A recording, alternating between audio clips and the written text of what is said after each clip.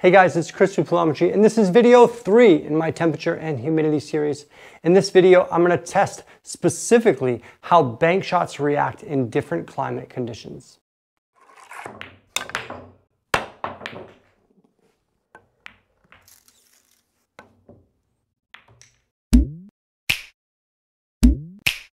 In videos one and two, we explored some more exotic bank shots to see sort of generally what's going on. But in this video, I want to narrow down some more specific one, two, three, and four rail bank patterns that are fairly common.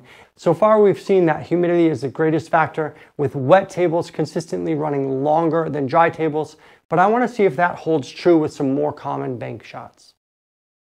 First up, cross corner. This is such an important shot, I'm actually going to test it at three different speeds.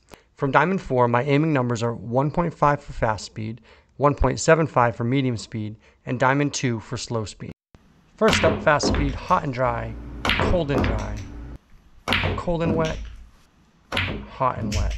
To be honest, I wasn't that surprised that a fast speed bank shot resulted in a fairly consistent rebound angle across all climates. In fact, I think that's probably why you see a lot of old school bankers they bank at one speed almost exclusively. They bank at a fast speed. There's something that seems to bully the rail in a way that seems to minimize whether it's a wet rail or a dry rail or a dead rail or whatever it is. The fast speed shot seems to come out at a very consistent angle, and I saw that here too, no matter the conditions. It's also important to point out that I thought I was hitting these shots fairly pure, but from the overhead view, sometimes you see the ball roll forward a little bit. I'm talking about the cue ball. Sometimes you see it slide to the right or to the left or a little backspin. And these slight changes have a tremendous impact on bank shots. It produces impact induced throw and spin, and this can really change things. See it here from the top view.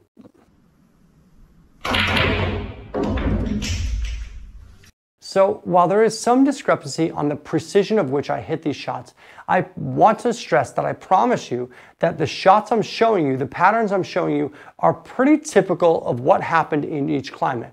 Next up, we have medium speed, and here we see our first example of where heat and humidity can drastically affect the trajectory of a bank shot.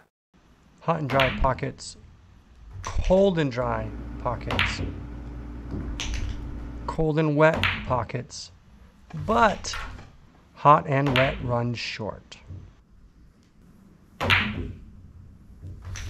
So that's fast speed and medium speed, but what about slow speed? Hot and dry runs short.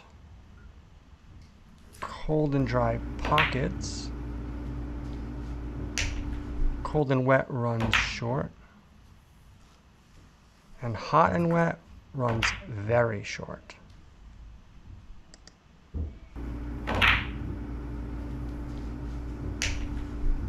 If I'm honest, this was actually a result I was hoping for because I have always wondered why my slow speed bank shots seem to be so different from table to table.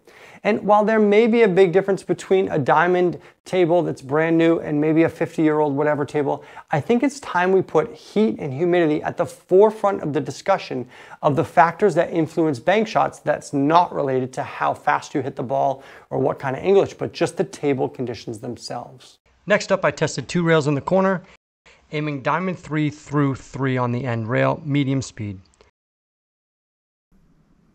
Hot and dry runs a little long. Cold and dry pockets as expected. Cold and wet runs long. Hot and wet runs even longer.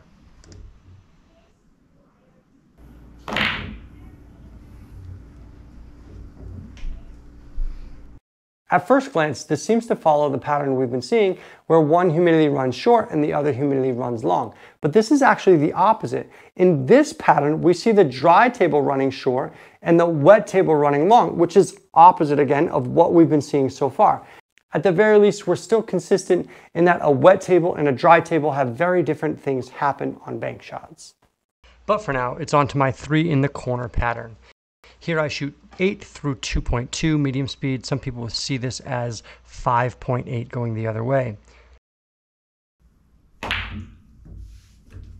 Hot and dry runs a little short. Cold and dry pockets as expected. Cold and wet runs short. Hot and wet runs even shorter once again.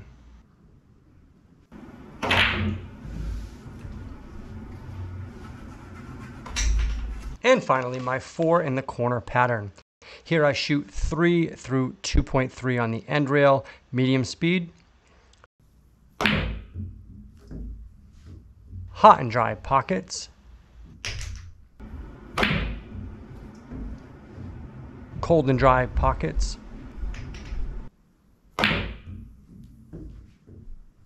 Cold and wet run short.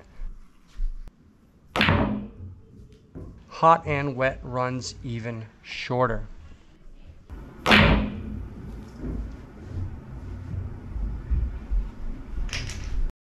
In review, have a look at this.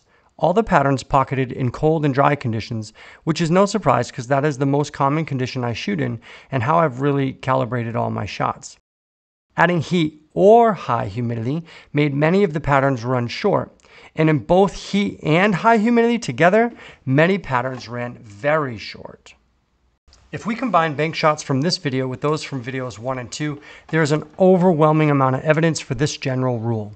Wet conditions tend to run bank shots shorter than dry conditions, and adding heat to wet conditions seems to decrease the final rail rebound even further. Of course, the two in the corner pattern is an obvious exception. However, I have a hunch that that pattern and its cousin two in the side might be the only deviants from this rule. Maybe someday I'll have a chance to test this experiment with all 25 shots from my Aim with Speed bank shot library. But for now, it's time to move on to how environmental factors such as temperature and humidity affect the deflection and the throw on the cue ball and the object ball.